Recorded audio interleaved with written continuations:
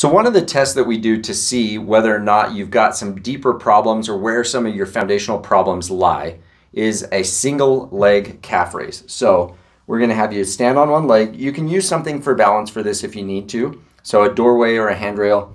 And then you're gonna raise up onto your toes, slow and steady. And we're gonna shoot for 20 of these to where you can do 20 in a row. If you can't do 20 in a row, or this is really flaring you up, causing pain or your calf is just on fire and you can't quite do it, then that's a problem and we need to make some adjustments. So that tells us that that calf is part of the problem causing your plantar fascia pain.